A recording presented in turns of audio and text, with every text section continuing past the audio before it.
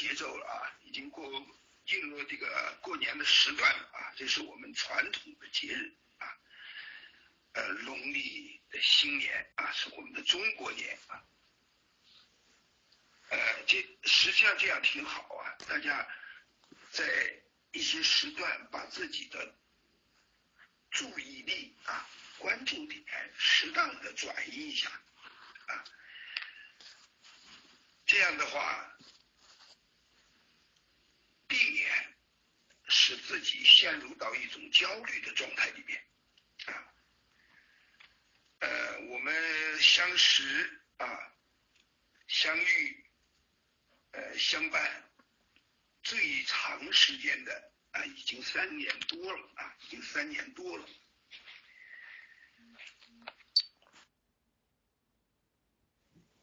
超过了一分钟，他就发不出去了。好，没事儿，我现在基本上找到这个原因了。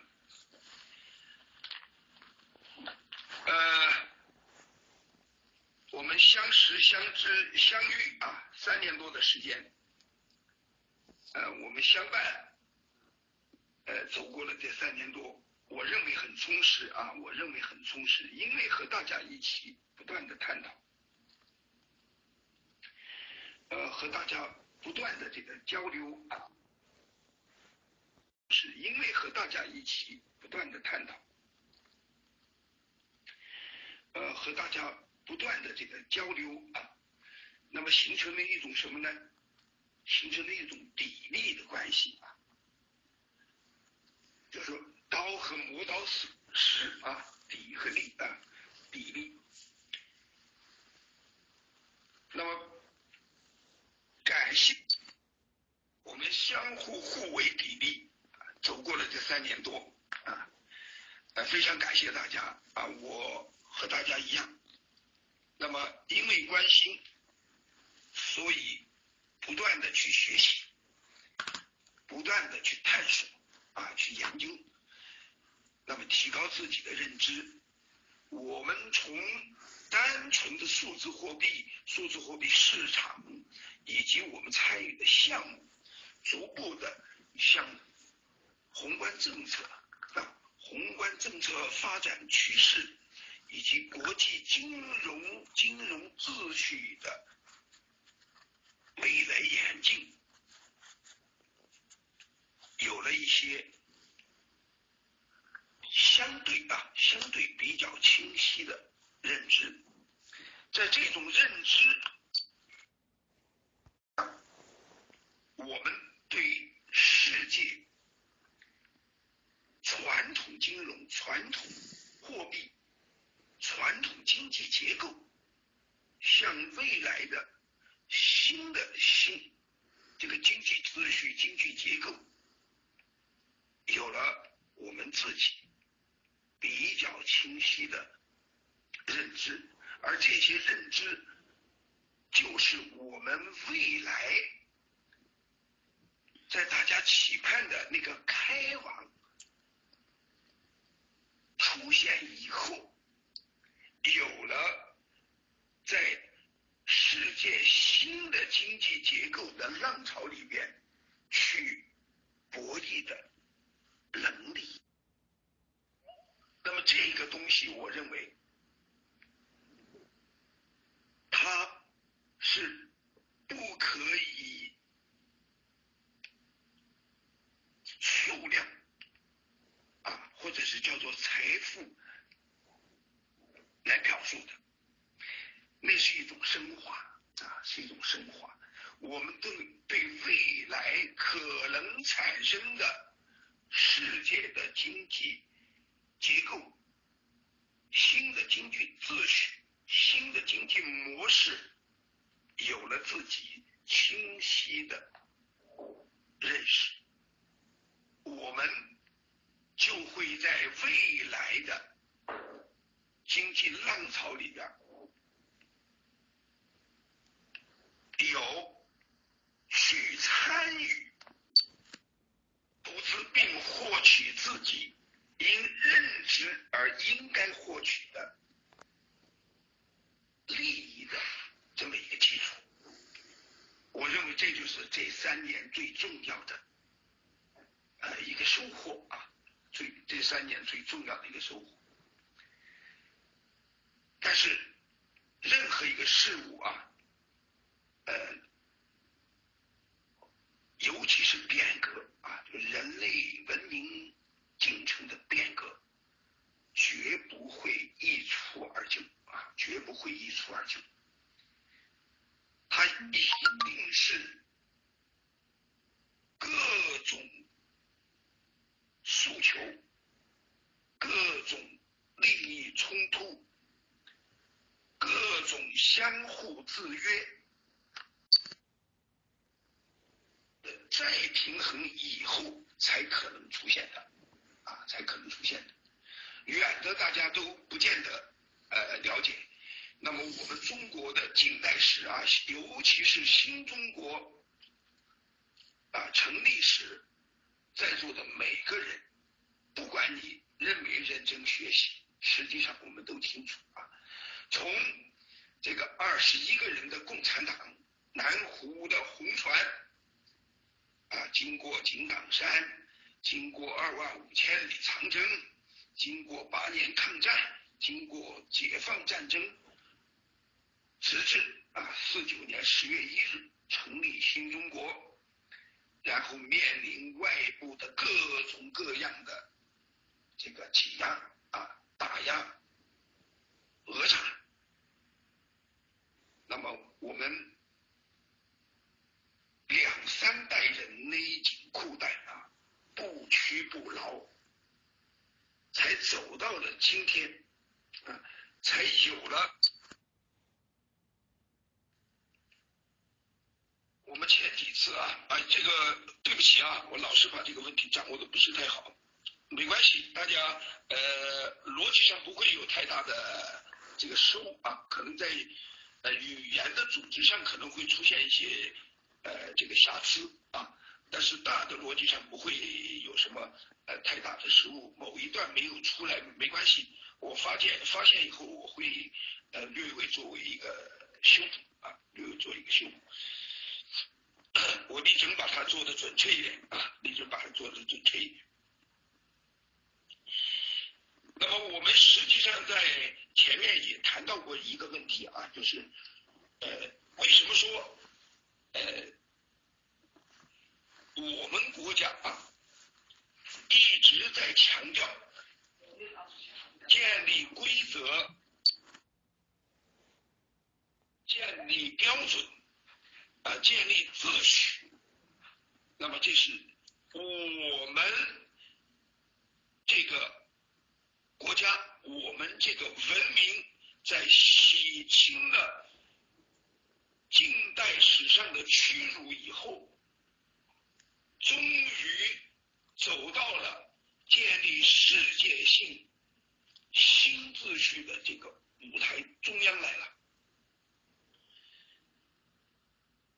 否则，这一切都是不可能的啊，都是不可能。为什么美国西方说我们是世世界秩序的这个挑战者？就因为原有的世界秩序是西方的，方建立的。大家注意。观察一下啊，从十月份，这个香港正式宣布啊，成为未来数字这个呃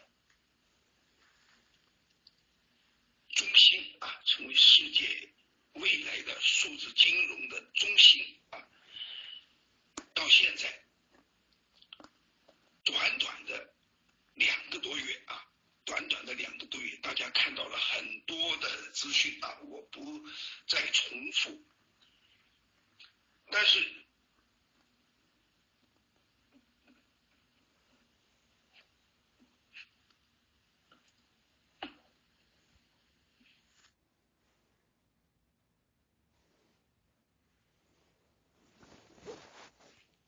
是啊，有一个内容。大家一定要去把它认真的看一看，呃，还是没掌握好啊，重来。呃，有一个有一个这个新闻啊，大家一定要认真的去读啊，大家可以找得到这个，这个是十二月十九号啊，十二月十九号，呃，金色财经转发的一个新闻。呃，这个新闻的标题是中共中央、国务院啊积极参与数字货币等国际规则和数字技术标准制定啊，这是它的标题啊。其中最重要的东西是什么呢？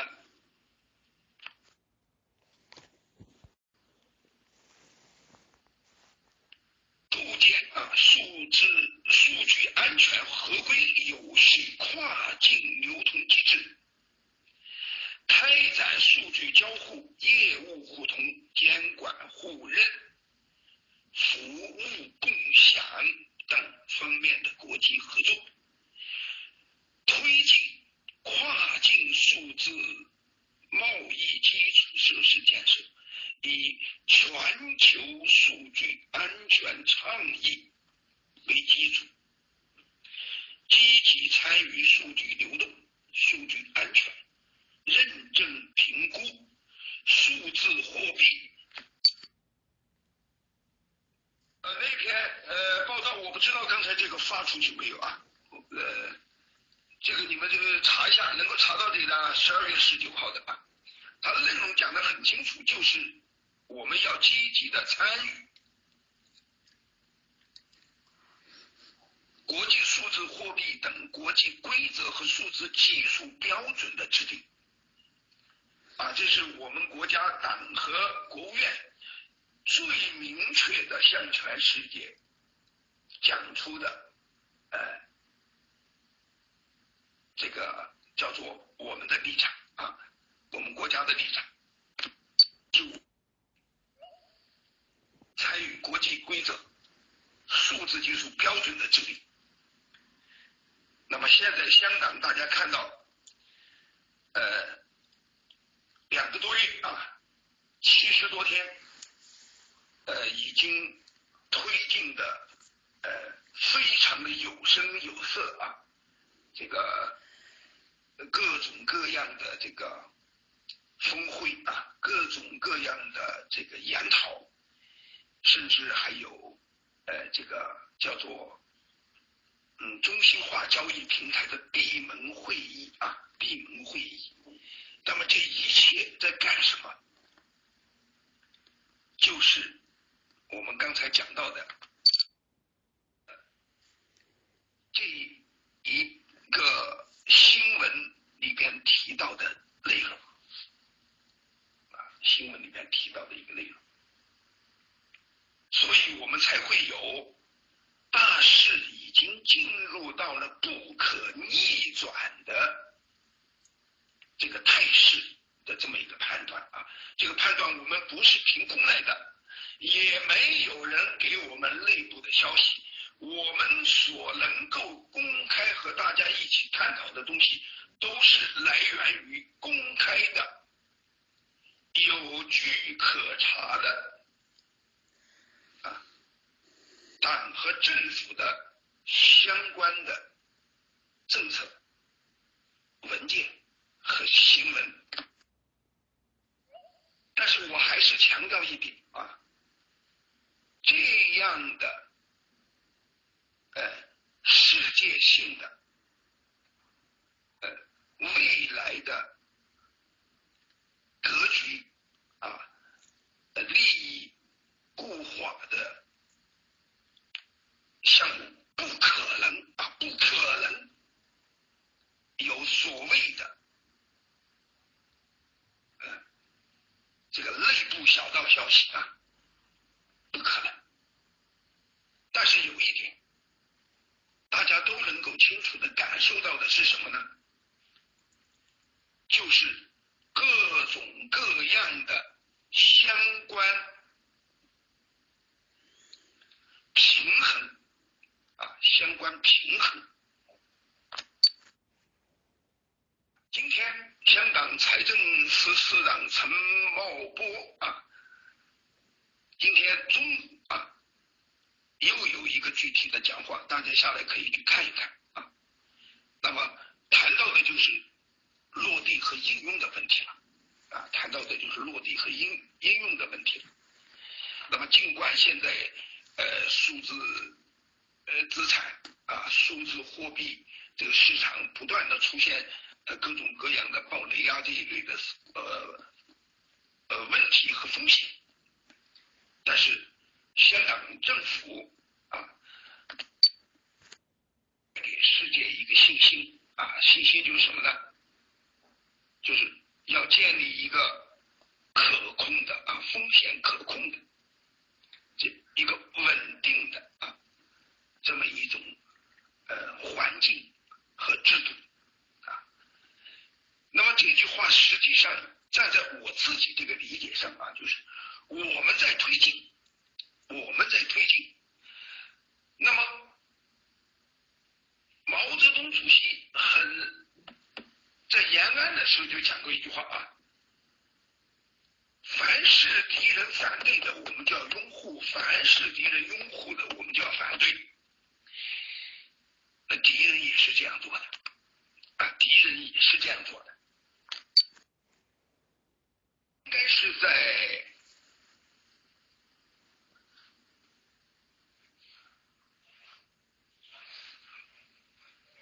应该是在上个月月底吧，啊，上个月月底，呃，美国出台的呃财政预案里面啊，就专门谈到了伊朗，谈到了朝鲜，谈到了中国，啊，那么也就是说，对中国的威慑。对朝鲜的限制，对伊朗的讹诈，他都已经纳入到了政府的政策的财政预算里面去了。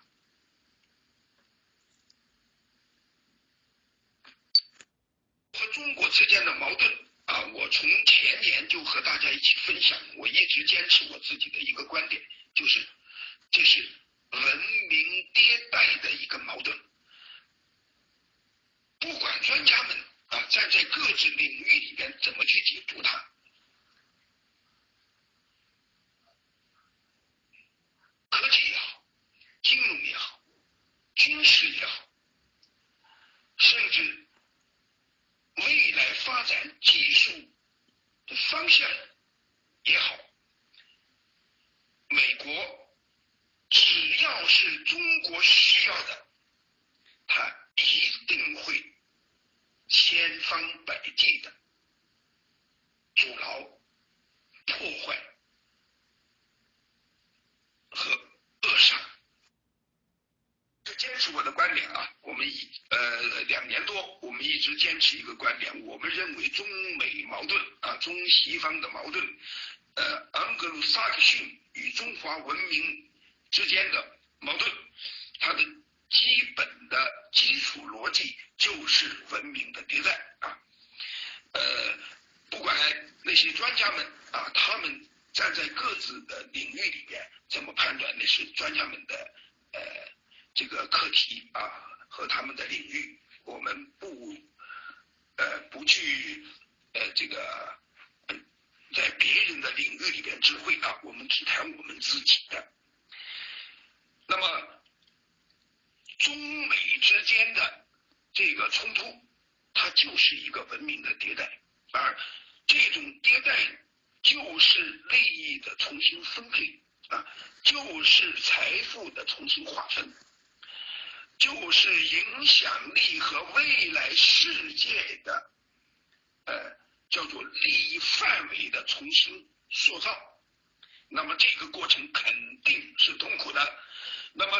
一只新的空碗要想装上东西，原有的旧碗在没有总量出现之前，呃，出现增长之前，就会出现原有的旧碗里边的，呃，所得到的获取量里边会被减少。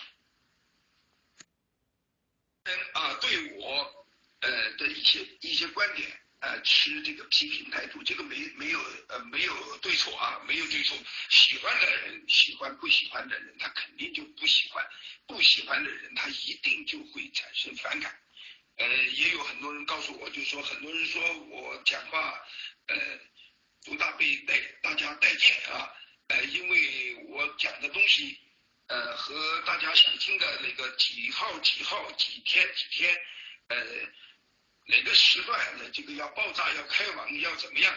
嗯，这个不搭嘎啊。呃，因为我很反对啊，我很反对这种说法。呃，前天都还有人讲啊，今天七到九号一定会蹦。那么现在离这个九号，呃，这个零点啊，也就只剩下三个多小时了。呃，我还是那句话，我看不到。这个泵的这个呃可能呃必呃存在的这个逻辑和这个呃叫做这个现象的这个可能啊，我看不到，我看不到。还是那句话，我就问大家，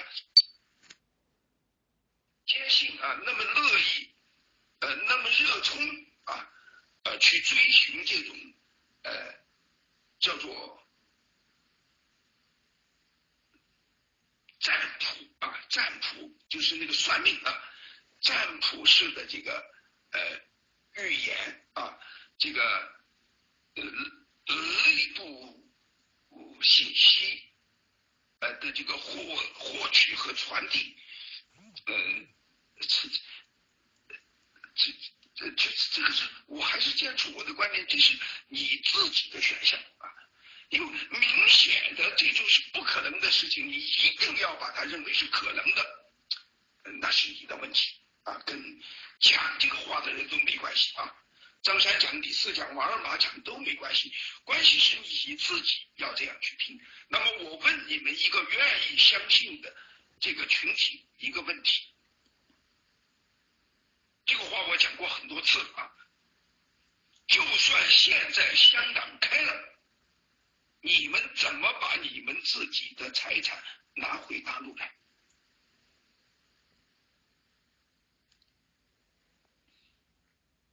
是全体批批人一人一个编织袋到香港去，呃，变现以后拎回来？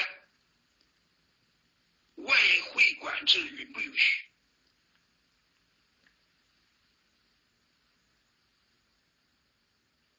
很简单的问题，很简单的逻辑啊！我们要想正常的、真正的正大光明的看到那个开往，那么一定是国家的政策和政策的相关配套都到位啊，才可能。那么就九二四九二四之前，大家每天都可以。在银行、在支付宝、在微支付上随意的啊进行这个呃变现啊出金入金，那么那叫正常，那叫正常。除此之外都是不正常的啊，都是不正常的。那么尤其是国家在。那个特定时间段，把它界定为非法的，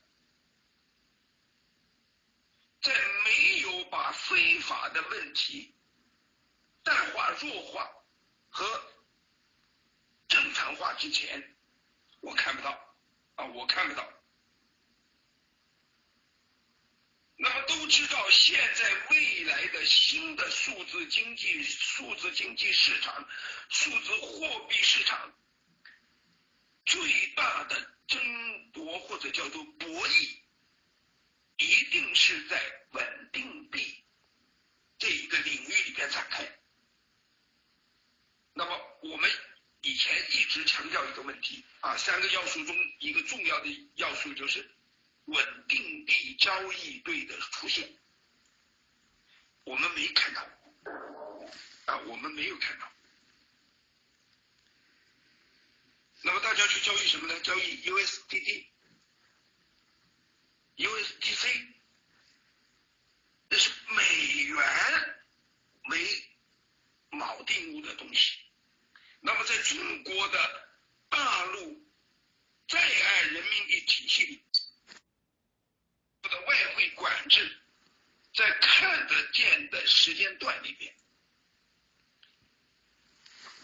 被彻底放弃的可能性啊。几乎为零啊，几乎为零。尤其是中国在不断的总结和研究了在岸和离岸的关系以后，我想这一个部分可能还会更加的强化，还会更加的强化。那么大家拿了一堆美元。你怎么把它弄到国内来呢？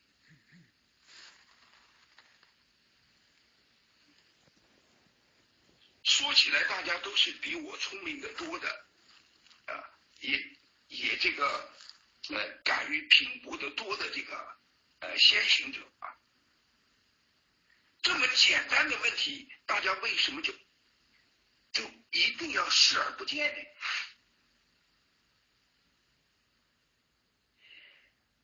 我还是那句话，我是最坚定的认为，我们国家在数字货币、数字货币秩序、数字货币标准的制定上，一定会占有非常重要的角色，扮演非常重要的这个呃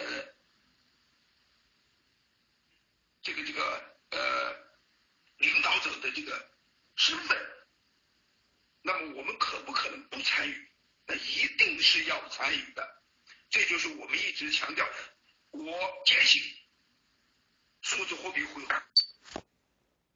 把。这么简单的逻辑和这么简单的呃这么一个现象啊，大家都要刻意的去忽略，那就只能说是自己的问题了，只能说自己的问题了。月月有人喊口号，年有人这个发这个啊这个号外啊，哪一次兑现呢？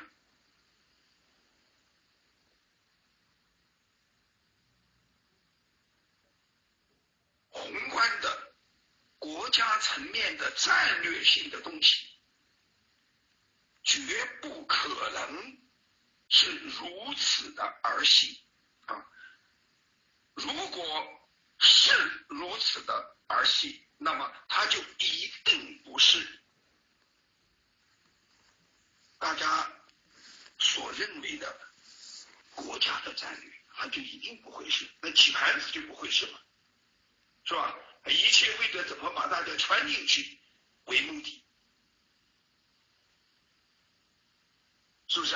我曾经提过一个建议啊，大家可以去查一下，因为那个 K 线图呃是变不了的。当有人第一次开始讲 OSL 的时候，到现在啊，大家去看看。相应时间段的 K 线图啊，那个 BC 科技的 K 线图，它太离这个农历啊，离农历的这个呃十二月啊最后一天也没有多少天了啊。还有十二天啊，二十一号就是除夕了啊，二十一号就除夕了。呃，这种自我麻醉啊，自我麻醉的这种呃叫做呃自我麻醉的这种关注方式啊，对自己、对家人。对你周围都只有坏处，没有好处。你的焦虑一定会因为你而扩散给你周边啊，没有必要把自己的亲人、家人、朋友啊，或者叫做社会的这个呃，这个这个这个啊，你的社交圈啊，都这个拉到那种焦虑、焦灼。啊，和这个这个情绪剧烈变化的那种状态里面去，啊，好好的过年啊，好好的防护，不要把自己弄到这个新冠感染者的行列里面去，这些才是重要的啊。要回来的东西，它一定要回来，回来的时候一定不会落下。啊一定不会落下，啊，大趋势目前看来是改变不了的啊，不可逆转，它不可逆转了。但是具体的落地的那个点，不需要有人告诉你，你一定看得见。国家政策的最后落地，国家数字呃这个呃这个叫做呃稳定币交易对的出现等等啊。都是指标啊，都是指标，不要去过分的焦虑啊，焦虑没有意义。那么最容易让自己焦虑的就是那些捕风捉影，就是那些自欺的信息。我们随时都能够看到啊，谁谁谁又有朋友。在什么什么位置上啊？谁谁谁又出来一个在什么什么？早在两个月前就已经知道了，结果呢？不可能啊，不可能！没有在这种位置上待过的人，他不知道体制内的这种。我还是那句话，大家为什么要把这个东西告诉你啊？啊，把自己的乌纱帽弄来放风筝，太儿戏了啊，太儿戏了。当然，呃，区块链、数字货币，这是个新生事物，而这个新生事物里边，我们都发现有一现象，什么现象？就体制内的人对这个部分的关注度不够，参与度不够，而关注度够的、参与度够的。啊，往往又跟体制，呃，有一定的距离，啊，那么不排除，不排除，些捕风捉影的，呃，这个叫做，呃，风声啊，从底层技术层面上，啊，这个流出一些。相关的，呃，这些，呃，可供啊，可供大家去发挥想象的，呃，这些现象，啊，啊，不排除，啊，嗯，就是因为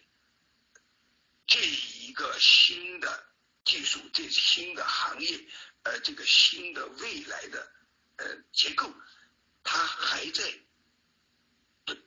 萌芽和成长期，那么，呃，技术上使用的这支队伍啊，跟体制的管理，它啊有一定的这个呃叫做不契合啊不契合。好，我们深入的就不太不不往下讲了。今天可能嗯最后这一点啊。呃，终于找到一个相对稳定的这个呃方法了，那么下一次我们就可能就比较顺畅了。好，谢谢大家，今天我们就到这里。